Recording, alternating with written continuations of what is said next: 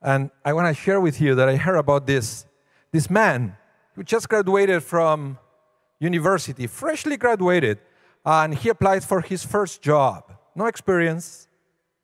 And he gets the chance to have the interview. And the person who was running the interview asked this man, So, what is your salary expectation? And the man says, Well, uh, it should be in the neighborhood of $200,000. Depends on benefits. And the man who was running the interview said, Okay, what do you think to begin with? Five weeks holidays, full medical and dental, a car leased by the company that is going to be replaced every two years. And we also pay for your lease of an apartment close to the business. And the young man looks at the, this and says, Whoa, are you kidding me? And I said, Of course I am, but you started. so I want to talk to you today about it's no joke. it's no joke. You will see why I'm saying this. But first, I, there is a beautiful message that I learned many years ago that I truly have every Shabbat. When the, the, I see the symbols of Shabbat. To me, the symbols of Shabbat are the candles, the wine, and the challah. And I learned that each one of these three elements represents something else, a different aspect of our lives. For example, the candles represent spirituality. That is, you will see, for example, when uh, you go to a Shiva house or when you're observing a yahrzeit, we light a candle that represents the soul. The Shabbat candles also represents the light of creation, but light and fire in general in Judaism represents spirituality. So when you see the Shabbat candles, you should remember that part of your life should be spirituality. But we also have the wine. And in Judaism, the wine represents joy. It's very simple. There is nothing uh, esoteric about the wine. Wine represents joy, happiness. It represents having fun sometimes. That's why we have the wine there to remind us that that should also be part of our life. We can't spend our life being bitter uh, and being haunted by things. We have to be able to bring joy into our lives as well. And we also have the bread, the challah. And bread in general, it represents the material world. It's a reminder that, yes, we have the Shabbat, but we also have the other six ways of the week where we work. When we have the opportunity to work, to support our families, ourselves, to give tzedakah, but we need to do work. So we have the three elements, and usually when we come to Shabbat, we should reflect to bring some harmony to the three elements. You see, you can't dedicate your life to live in perpetual joy. You can't go from party to party and then neglect work and spirituality. Life doesn't work that way. Sometimes what happens is some people will be work, work, work, work, work, and they will also neglect the spirit, and they will never have any fun. But we also know people that it will be exclusively spirituality.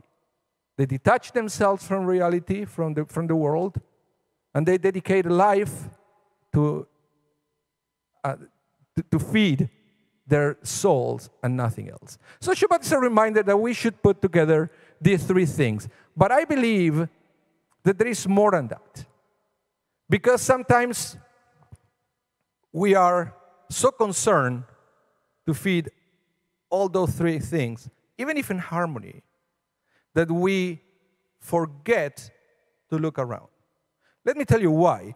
Because even though these three things are an invitation to have balance, it's usually my joy, it's usually my work, and it's usually my spirituality, me, me, me. And we know Shabbat is also a time of reflection when we look around. You see, when God celebrated the first Shabbat, was also a time of contemplation of the entire creation of the world. Was after God was able to watch and to look at the entire creation, and God said, It's very good. It's the concept of responsibility. It's the concept of, regardless your spirituality, your joy, and your work, we should have time to look around and to see and to see if things are good, very good, or bad. And I'm bringing you, bring you this because you see, I've been a little bit uh, upset, let's put it that way. This past week should be a moment of celebration, which I went through Canada Day. But I would agree that most people felt it awkward. Canada Day was an awkward day in Canada this year. And I don't know how much our international viewers know what was going on in Canada in these days and why Canada Day was an awkward moment. And I will, I will give you a little bit of a background. If you want after the, after the service, you can go Google and read what's going on. It's because, uh, when was it? A couple of weeks ago, there was discovered 215 graves of kids from the Kamloops Indian residential schools. Unmarked graves. It was a mass grave. Something that many people said that they were always there, but nobody there to, to search for them. But they finally came out, and it triggered a whole new level of introspection and brought into light many unsolved issues that we had here in Canada. We know that we have many things to do to bring peace, truth, and reconciliation with the indigenous people in Canada. But again, you should go and read a little bit what these residential schools were. It's a terrible thing. And that, at the end of the day, of course, it opened dialogues. I've seen posts on Facebook, uh, seen people talking here, talking there. And it kind of ended up during Canada Day with some acts of vandalism, if you want to call it, that is, uh, it's always uncomfortable, at least for me to see stuff like that, but it's a reflection of why things happen the way that happened. Because let's be honest, this didn't, this uh, tension didn't start a couple of weeks ago with this unmarked graves.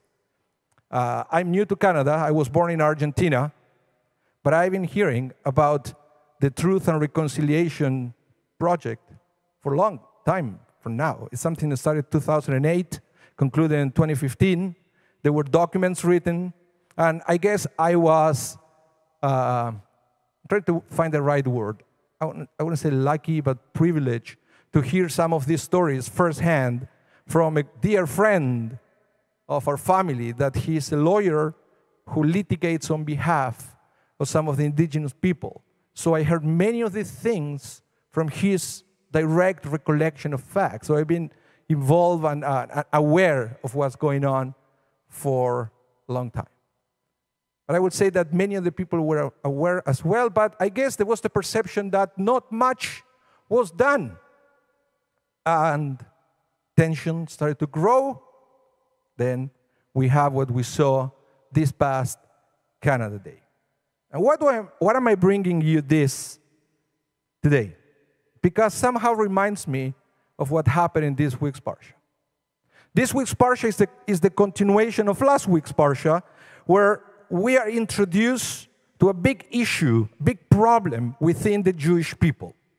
They were sinning with the Midianites. So they, they, it says that the Jewish men were sinning with the women of Midian. You can imagine what kind of sin we're talking about. I don't want to describe it too much in case there are kids watching this service. But you can probably picture what was going on there. And God said that I was wrong. And God specifically Moses, asked Moses to ask the officials to put an end to that. And you know what happened? Nothing happened. He says that Moses was paralyzed. The officers didn't do anything. As for all the people, it's very graphic. It's very interesting that say that everybody else was weeping at the entrance of the tent of the meeting. So people were crying, they were, they were weeping, they, they couldn't believe it. It's not that they, they were not aware, it's not that they were not saddened by what's going on, but they were weeping. And then eventually it says that, they, it, I guess because nobody was doing anything, there was this prince from Israel that they was sitting with this princess from Midian right in front of Moses. And nothing happened until it says that Pinchas, this zealot, got a spear and killed them both in front of everybody. And then that brought calm to the people of Israel when he did that. And then, of course, year after year, we analyze how is that possible. We try to understand Pinchas. Some people will defend Pinchas, some people will attack Pinchas. But long story short, God gave Pinchas what is called a Brit Shalom, a covenant of peace. That was the quote unquote reward that he got. It's kind of awkward for a reward to receive a Brit Shalom, a, a covenant of peace from God. But the thing is that even though he seems to bring peace to the people of Israel, if you dare to go to, to, go to the Torah and, and read the way the word shalom is written there, the central vav, the letter O of shalom, is broken in the middle. That's almost saying that, yeah, maybe he brought shalom, but it's not the best way of bringing shalom. And we all know in history that sometimes an act of violence could trigger eventual peace. But the Torah is saying it's not the right way. So, what is the right way? Well, the right way is when other people around Pinchas will do what they're supposed to do, which is to do something. Moses didn't do anything, the officer didn't do anything. People were weeping. You see, when I read this that they were weeping, to me it's a very passive thing. It's like in these days, I've seen many people posting things on social media and commenting about other people's uh, other people posts and so forth, but it's, it's, it's like weeping. It's like weeping. There is nothing concrete. So when I read this, this parsha, I will say that we all want peace. We all want truth, reconciliation, friendship, understanding, restoration, you name it. But weeping doesn't do anything. Talking to each other, maybe, but there is something more that we have to do. Because if we don't, we are fueling the pinchas around. And that's not what we want. We want a peace. We want a shalom where the vav is complete. It's not broken in the middle. And in order to do that, we have to do. To do what? Not 100% sure yet. But I think that is something that we have to figure out among ourselves. We have to find ways to create something to do.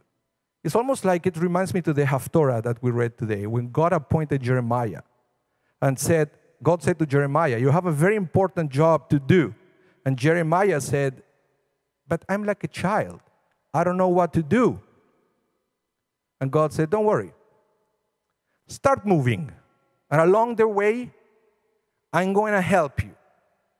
But you have to give the first step and to start moving.